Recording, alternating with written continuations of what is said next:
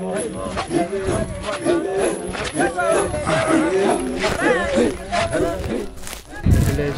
live uh, 200 people.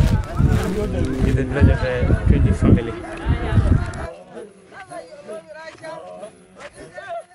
I'm going to take you around our homes to show you some dances.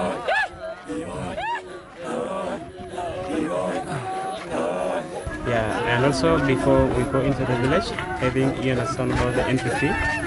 So this money it belongs to the whole community around here, especially for building our school here.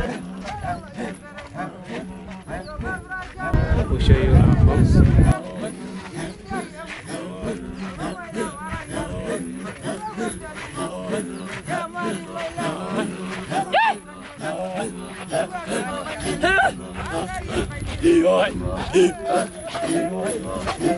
Mostly we, do, we kill lions.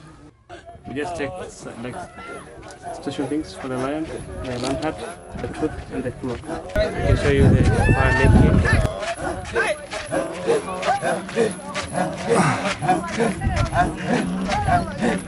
And thank you is you say Ashe in Masai.